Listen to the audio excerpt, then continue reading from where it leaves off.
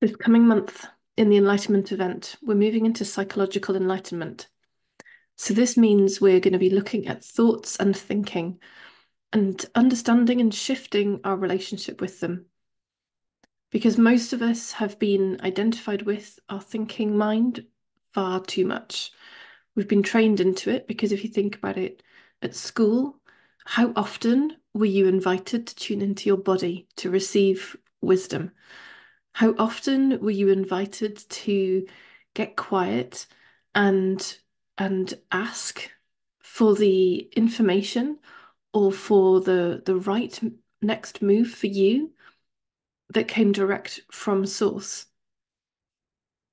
Versus how often were you directed to books, to teachers, to other experts who were the ones with the answer, who were the ones with information for you to learn and to then think about. We were so trained into thinking. We were so validated for thinking and for thinking well, for having sensible thoughts, for having great ideas. And it was all all focused on this what feel feels like our thoughts are here. It's all focused on the head on the conceptual on the yeah on the thinking on the thoughts. It was all lauded. It was all raised up on a pedestal as the most important thing to pay attention to. And equally the thing that we were judged for. What were you thinking what on earth were you thinking to go ahead and do that, whatever that was? So we found ourselves from a very young age in this precarious position of, oh, there's good thinking that I get praised for in school, and there's this bad thinking that I get told off for. Oh, right. How do I how do I do the right thinking? How do I get into the right kind of thinking? And so from really, really early on, we were lost in the mind. Having that as primary having that as the most important aspect of our experience believing that if i could just know enough if i could just learn enough if i could just regurgitate enough and do that well enough then my life will be sorted. And if i can just get rid of all these other thoughts that are apparently bad and wrong and that are getting me in trouble then I'll be okay. And so that's continued through our lives. And we've collected and collected and collected the kind of thinking that we think is right. And we've rejected and resisted the kind of thinking that we believe is wrong, creating ourselves this complete tangle of confusion with the mind like this filing cabinet stuffed absolutely full of known ideas. And so that each time something comes up, we're rifling through the, the drawers of the filing cabinet, trying to find the right thing to say, the right thing to think right now, so that therefore I say the right thing and do the right thing, so that I keep being told I'm good and I'm acceptable and I'm okay. And it just gets untenable that's usually what brings people, first of all, into a spiritual exploration. Because if we've tried any personal development stuff where we've tried to override or overwrite even the bad thinking with good thinking, if we've tried any kind of positive thinking, positive psychology, overcoming of thoughts that we think are wrong, oh my goodness, how we find that that's just untenable and unsustainable and unsatisfying and unfulfilling and exhausting. And certainly for me, I saw how my efforts to do that did not work. It was like in this section of life over here with work, I was able to manage and control the thinking. So I did all the right things and said all the right things. But then over here at home, blah, all the stuff that had been suppressed and held back from my experience in the work environment came flooding out at home with my kids, being frustrated with my kids primarily, being irritated, being judgmental, all the stuff that I kept hidden in the workplace in favor of all the positive thoughts, all the enlightened thoughts, all the um, equanimous, emotionally intelligent thoughts. And so, yeah, so this is what often brings people to a spiritual exploration because something in them says, this is not how it's meant to be. This is not the truth of who we are. We are freedom. We are inclusion of all, which means inclusion of all thoughts. We are peaceful by nature. We're not this one that reacts against some thoughts and resists them and then tries to draw in other thoughts because they're good thoughts, the absolute antithesis of peace. And so, how brilliant that we get brought into this exploration. How brilliant that the system guides us and says, there is more to you than this. There is more to you than trying to manage and navigate and sort this filing cabinet of known information out. So when we come into that exploration and we find that, oh, there is something deeper. When I stop referring to this known filing cabinet of information, when I detach from that, wow, these beautiful, perfect for the moment, in flow thoughts come through, which have such a different feeling. In those early days, it's like chalk and cheese the contrast of these known thoughts and these beautiful, fresh from upstream, wise, intelligent, as I said, perfect for you, perfect for this moment thoughts that arrive as though by magic. And then as we start to navigate by that, then we begin to sometimes lose sight of that distinction. It starts to become a bit muddier the um the known thoughts start to mimic those beautiful wise thoughts that come from upstream and so it starts to get a little bit harder to differentiate and and see well which one is which one's coming from that filing cabinet mind and which one's coming from fresh from upstream and that's cool because then that leads us to to test in the world to test our our emotional reaction. Because if there's a, the feeling in us then becomes the navigation.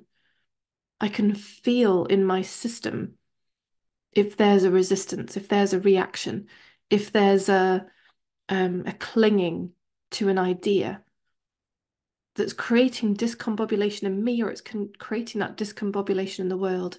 It's creating struggle in me or it's creating struggle in the world in some way. And so we start to be able to use the world and our own inner inner feeling system as that navigation point. And all the way along that, we are always asking, is it true? That's really what we're always asking when it comes to thought. Is it true? Is it really how I think, how I think it is? Are they really how I think they are? Am I really how I think I am?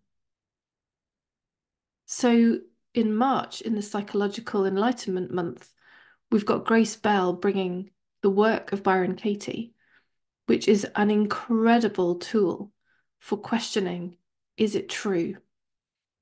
Is this really how it is, how they are, or how, how I am?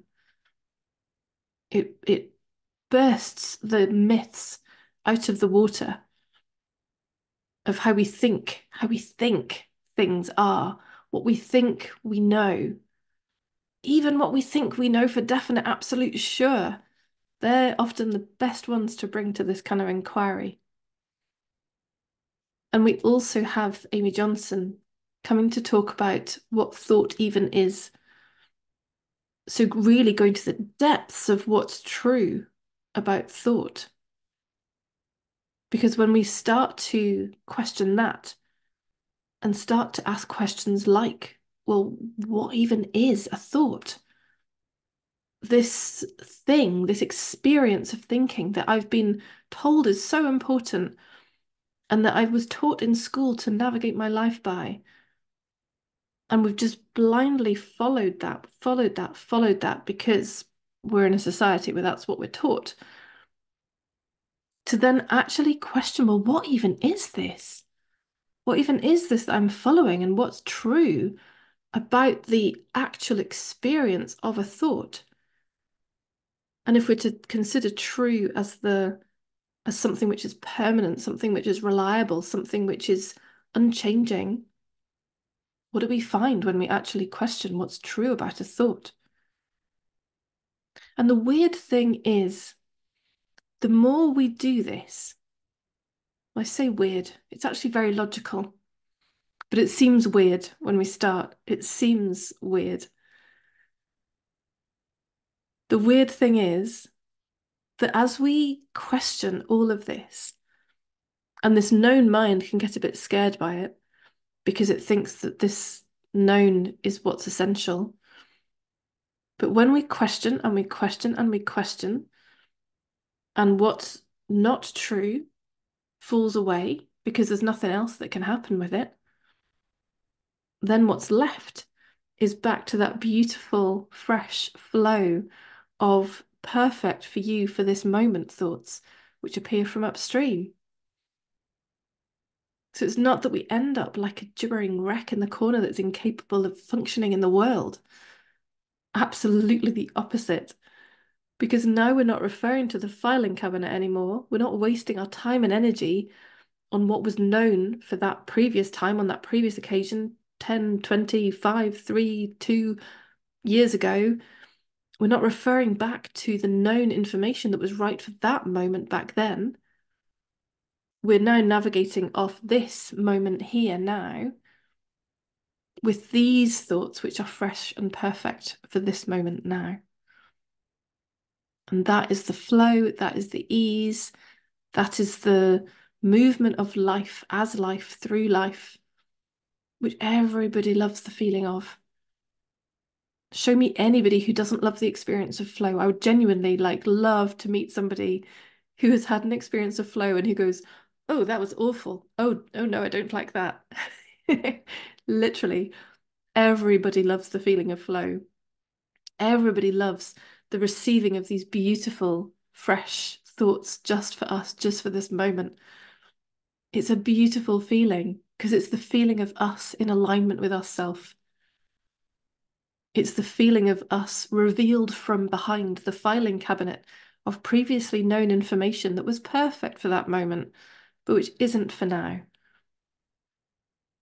So, if this all sounds like a conversation you want to be in, if you can feel that difference in your experience, if you can feel that next level of freedom that's available for you, of flow that's available for you, instead of having to continue the clunky navigation through this big, bursting, full filing cabinet of information, then this month is going to be so amazing for you. And as well as that, you get me at the beginning of the month doing a setup call, a context call. Uh, let's get really clear about what we're doing here this month, which will then flow into Amy's session in week two into Grace's session in week three. And then we'll close with a Q&A session where everything is open for your discussion, for your experiences, for your questions. And all surrounded in a community space that means we get to stay in connection during the process of the month. So you get to continue engaging with me and Amy and Grace. Get continue to get to, you get to keep continue you get to continue engaging with all your fellow community members. And you get to receive from each other beautiful examples and insights and realizations. Usually, there are quotes and articles that come up along the way that are really valuable to drop in to share with everybody. So, it's a really rich experience, a very connected experience and an enlightening experience. So that no matter where you are on your journey, there'll be something for you to see fresh. There'll be another layer of confusion eroded from your system to reveal more of your unique expression. That's the feeling of the flow, of you being you as you are, unencumbered, unhindered, disentangled from that filing cabinet mind that, quite frankly, has weighed us down and keeps us limited, keeps us less than we're, we really are. So if this sounds interesting to you, I would love to see you there. Love for you to join us. The link is in the description here, or in the comments, or in the bio, wherever you're watching this video. And I would love to, I would love to meet you. The doors are opening on the 1st of March and they'll be open just until the 5th. So if you want the opportunity to come in and join us for this psychological enlightenment month, you have them from the 1st until the 5th of March to get in the door and come and join us in there and have an amazing month of lightening your psychological experience so that you feel more flow, more ease, so that you reveal more of your unique expression, which is what we all want. Much love. I look forward to seeing you there.